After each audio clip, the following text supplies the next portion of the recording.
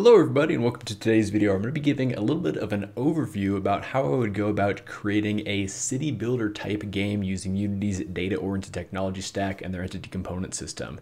Now, of course, some very popular examples of city builders are things like City Skylines or SimCity, where you basically are in control of an entire city. You are kind of managing the creation of different buildings and services for all your residents to utilize. Um, and the residents basically are just kind of all controlled by the computer and they move around and they're kind of on their own schedule doing their things. And so you kind of have to manipulate the city in order to keep your residents happy and, you know, have them spend lots of of money so then you can create more and more cool things. And so for games like these where we have large numbers of dynamic entities, it really is a great candidate for a game to be created with Unity's data-oriented technology stack and their entity component system. So today I just kind of want to give a little bit of an overview about kind of how I would go about creating these types of games. And it's also a very special video because it is sponsored by the Unity Asset Store and their brand new Dev Days of Summer Sale where they asked a bunch of creators like myself to handpick a bunch bunch of assets that will be part of the sale. And in today's video, I'm also going to be featuring all the assets that I've selected to be part of this sale and showing you how I would utilize all of these different assets to create an awesome city builder type game. And real quick, just to give some more details on the sale, it's going for a total of four weeks. This is actually week three of four. There were some previous weeks where some other creators were featuring some assets. And so this week is my week. And then um, after week four, there's actually going to be an additional two week period where it's kind of the best of portion of the sale. So all the top assets from all four weeks of the sale are going to be featured in those last two weeks of the sale. Now, the first asset that I'm going to feature is Dots Traffic City. And this is a really excellent asset because it pretty much gives you a complete project out of the box, which contains a lot of the core systems that you're going to need for a city builder type game. So for example, as you can tell by the name of the asset, it of course uses Unity's data-oriented technology stack, and it gives you kind of the ability to manage vehicle as well as pedestrian traffic in a city setting. Now, when I say that this is a complete project, I truly mean that because the first time that you actually download and install the package, it basically tells you that it's going to overwrite everything in your project. Now, of course, if you have assets and stuff there, it's going to kind of import them alongside that, but it does change a lot of the project settings. So if you are wanting to integrate this with an existing project, I would recommend just creating a fresh new project with the Dots Traffic City asset in it. And then from there, you can kind of pull some of the existing systems into your own project. Now, I do think that this asset it would be really great for prototyping when you're just kind of trying to get the feel or, or, test out some certain mechanics that may be unique to your own city builder. And why I would recommend doing it that way is because this asset seems quite opinionated in the way that it goes about doing things. So you're kind of a little bit locked into that way of doing things if you do kind of want to build off of that project. That being said, it does give you a ton of really great tools for world building. I think that if you have a level designer who's very familiar with manipulating things in the Unity engine, but they're not necessarily the type of person who's going to be able to open the code editor and start editing things in there, I think it still gives them a whole lot of options to be able to get really uh, granular with the configuration of certain things as far as you know spawn rates and how the you know vehicles and pedestrians all kind of interact with each other. You know you have a lot of really granular detail about you know manipulating things and that stuff can all be edited through custom tools within the unity editor through this asset. And in fact i'll leave a link down in the description where you can see a whole playlist of kind of an overview about how to use this asset. You'll see that the code editor was actually not even opened one time. Like all the configuration was done uh, directly through the Unity editor. This asset also gives a lot of really good debugging tools so you can kind of get some better visualizations on what types of things are happening in your game and kind of how some of these interactions are taking place. And it really does take advantage of Unity's data-oriented technology stack very well. Like, you know, it has really good performance and it takes advantage of,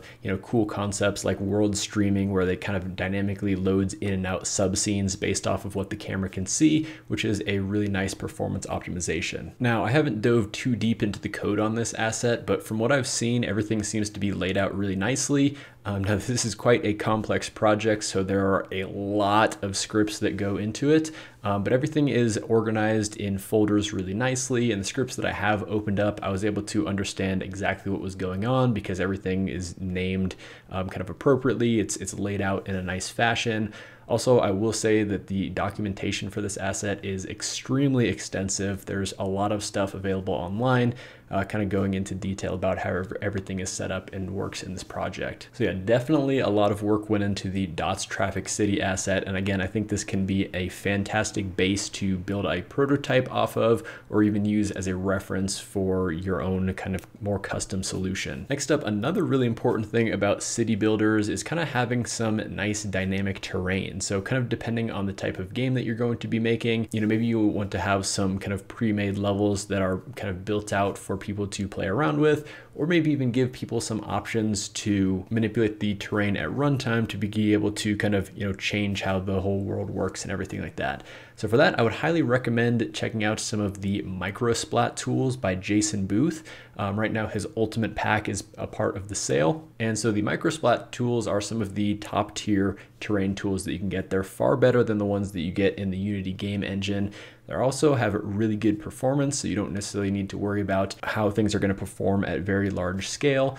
Um, and the Ultimate Pack gives you just a ton of additional bonus packs to add in different effects and things to your terrain. So I would highly recommend checking that out. And by the way, the terrain can also be manipulated at runtime. So if you do want to kind of expose some terrain tools to your players, you can definitely do that using this pack. And of course, another extremely important part of city builders is building well buildings. Now, of course, I'm sure many of you are well aware there are a ton ton of different buildings types that you can get off of the Unity asset store uh, that can fit the style of the, the game that you're going to create. But what I really want to call out is a cool asset by Tobias, who is a friend of mine and co-host of the Hot Path Show and he's created an asset called Fake Interior. Now, what this asset does is it's basically a shader effect that kind of gives a little bit of a 3D parallax. So if you're looking in the windows of a building, as you kind of start moving around, the perspective kind of shifts around so you can essentially see inside some buildings. So whether you're going, you know, side to side, up, down, it's always going to, you know, keep the appropriate perspective to kind of give the illusion that you can sort of see into that window, even though there like actual geometry doesn't exist. It's all really just a shader trick to make it look like you can kind of see inside there. Now, of course, the real advantage of this is that you don't have to have any kind of you know major performance concerns because you don't have to you know render all kinds of crazy mesh for you know hundreds or even thousands of different rooms in all these buildings, you can really just have a shader do all that stuff on the GPU for you. Okay, so next up, we need to talk a little bit about pathfinding. So of course, in our city builder type game, we're probably gonna wanna have a bunch of people kind of walking around throughout our city. Now, in order to do this, we're going to need some ability for them to do pathfinding so they can kind of, you know, stay on the sidewalks and cross the street when they are supposed to and all this. And so a really excellent asset that I do want to call out is the Agents Navigation package. Now, this Agents Navigation package, the base asset itself is really good for kind of a single unit pathfinding, you know, just taking one, um, you know, player and moving them from one point to another.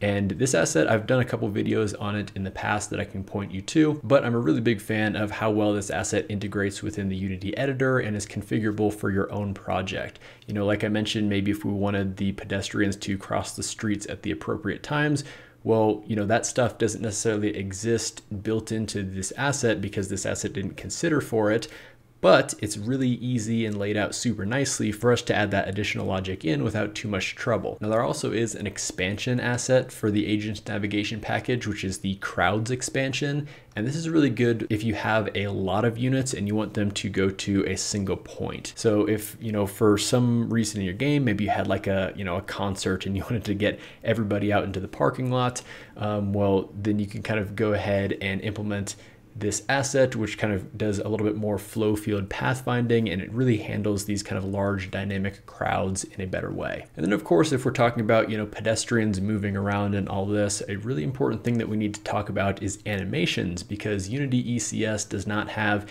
a out of the box animation solution that we can use. The kind of, you know, recommended kind of out of the box approach is actually using a bunch of different game objects to sync up with your uh, entity representations of the pedestrians. However, However, this can end up being quite costly, especially if we have the scale of, you know, thousands and thousands of objects. We don't necessarily want, you know, thousands and thousands of game objects all kind of doing their individual animations. So luckily the Unity Asset Store has a couple of really cool animation solutions, which are both available on sale.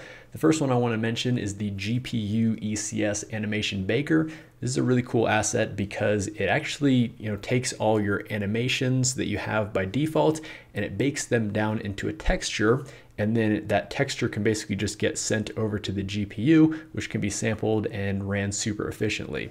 And again, these are all working with pure entities, so we don't have any hybrid game object sync or anything like that. And in my testing and experimentation, I've been able to get, you know, tens of thousands of dynamic objects running at a very high frame rate. The other one that I wanted to mention is the Rukhanka ECS animation system.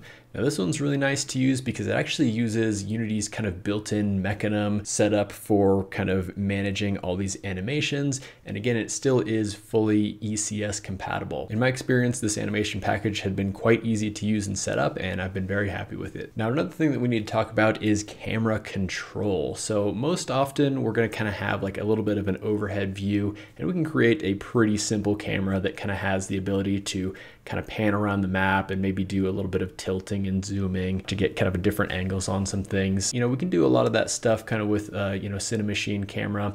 However, we might want to get a little bit more complicated and maybe have the ability to kind of follow some of our pedestrians in kind of a third person view. Now for this, I would highly recommend the third person camera for dots. I did a video review on this asset as well. And in my experience, it was, you know, super nice to use. Um, it works really well with uh, entities and it kind of does a lot of nice dynamic stuff where if you have kind of like geometry, it's not going to be starting to clip into the geometry and you're not going to kind of get some of those bad experiences that a a very simple camera controller might have. Now, a very important part to these city builder type games is going to be the user interface. Now, with these games, we're often going to be navigating quite complex uh, menu structures in order to select the appropriate things for building different buildings and you know setting kind of you know maybe tax rates or other properties about our city and all these things are going to be needed to be shown in menus. And we definitely want some like kind of hierarchical menus as well, where we can kind of, you know, select things and we can go kind of deeper into another portion of a menu. Want to be able to kind of, you know, scroll through, through things and have like good looking and feeling buttons that maybe have some kind of little animations associated with this stuff. Now, if some of this stuff starts sounding like really overwhelming, you know, coding this all of this yourself, because of course, you know, Unity by default doesn't necessarily have all this stuff built in, well, I would definitely point you to an asset that I've found extremely useful, which is the Doozy UI. Now, Doozy UI kind of builds off of Unity's regular UI solution, and it gives you a lot of the stuff that I was just mentioning, where we can kind of have a, a little bit of a hierarchical flow where we can kind of start diving deeper into different menus. Um, we can apply different animations and color changes and things like this on all the buttons and different UI elements. And overall, it's just really a great way to kind of manage these more complex UI structures instead of having to kind of worry about dealing all that stuff yourself. I will mention that this is another of those assets that is quite opinionated and a lot of times you're kind of locked into doing things the doozy way. However, in my experience, the doozy way has been pretty good and I've been able to achieve some, you know, really nice looking UI that kind of, you know, not only kind of looks pleasing, but also is kind of, you know, feels pleasing to use because of the, you know, subtle little animations and stuff. And of course, as you're going through and creating your UI, you know, at some point you might want to make something that looks a little bit nicer than more or less Unity's default UI. So I would definitely recommend checking out a UI pack such as the Modern UI pack. This pack is really nice because it gives you a bunch of different little icons and button configurations and just different colors and stuff that just look nice in the Unity editor. And so it's really good to just kind of have like a nice repository of all these things. So if you want to, you know, again, add in different icons or, you know, just have some buttons that look a little bit more custom than just kind of the regular Unity UI default, it's definitely good to have a pack like this in your arsenal. And another piece of UI that I do want to talk about is world space UI. So a lot of times, you know, in our city builder type games, we might want to have, you know, little things pop up above the pedestrian's head, maybe when they like spend some money or they, you know, go to the ATM or whatever, um, just so we can kind of get a little bit of a high level overview about kind of, you know, what's happening within the game. We can kind of see these things happening in real time. And it just kind of gives your player a little bit more information about, you know, what is actually happening in the simulation. So for this, I would recommend checking out something like Damage Numbers Pro. Now the reason for this is because we definitely don't want to have, you know, thousands and thousands of like Unity canvas objects kind of doing crazy things within the world. You know, even if we had some pooling solution, that's still not going to be a good idea performance wise. So with something like a Damage Numbers Pro, we can have a lot of these different little pop-ups kind of pop up above the you know heads of the characters and it is much more performant. It's also extremely configurable. So, you know, of course the thing is called a damage numbers pro, but I'm suggesting to use this for, you know, something like, you know, every time someone spends money or their happiness increases or something like that. We can you know really get configurable with you know all the different colors and font types that are being displayed above the pedestrians heads. And so we can kind of have different styles set up for different actions that a particular pedestrian might be taking. And then the final piece that i wanted to talk about is really related to your game development workflow and being able to just have a better development experience. So a couple of developer tools that i do want to talk about is one is of course the odin inspector which allows you to make your own unity custom tools a lot easier you know, be able to kind of display things in nicer formats, create different buttons and sliders just by literally adding simple little attributes above different portions of your code. And it really goes so deep with all the different things that you can create with the Odin inspector. So it's just a really great asset to have, um, especially if you're building out these larger projects where things start to get a lot more complex and you want to have you know better editing tools for you know to allow the designers on your team to be able to you know create things in the editor much easier and then the final asset that i'm going to bring up is the black box prefabs asset by Chiro this asset is super cool and convenient to use because you know how many times have you had some like you know really complex asset that has a bunch of kind of like you know child hierarchies going on and then you click on it and it just selects you know like the left arm and you really just kind of wanted to select the root game object? Well this asset basically takes care of all that for you. So it basically just kind of turns that all into one game object. So there's only one thing sitting in your hierarchy. There's not the, the whole kind of parented hierarchical structure or anything like that it's just kind of treated as one object. Now you might be thinking, oh hey, so what if I had some component on some kind of lower level thing that's now hidden?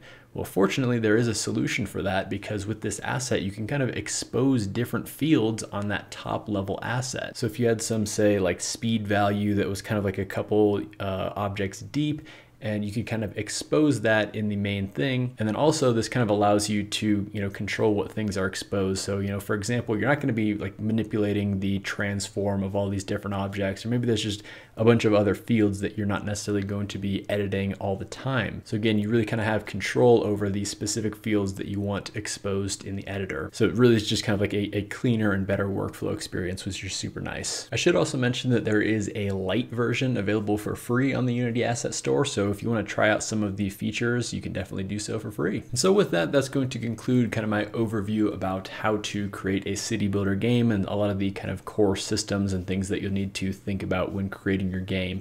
I really hope that this video kind of gave you a, some good insight into a lot of the assets that are available on the Unity Asset Store that can really help kind of get a lot of the difficult things implemented in your game. So you can really kind of focus on the kind of core gameplay and the more interesting aspects of your game rather than you know having to worry about you know creating some whole menuing system and doing pathfinding and everything like that. And so once again, I will just mention that these assets are available on sale right now as part of the Dev Days of Summer sale. And again, if you did miss the specific week that they're going to be on sale, uh, there is kind of that best of portion of the sale happening after the sale concludes um, where some of the top selling assets are going to be on sale. So maybe some of the ones featured in this video will also be part of that sale. So with that, I do just want to thank the Unity Asset Store for sponsoring today's video. Hope you enjoyed it, hope you learned something, and hope you all have a fantastic rest of your day.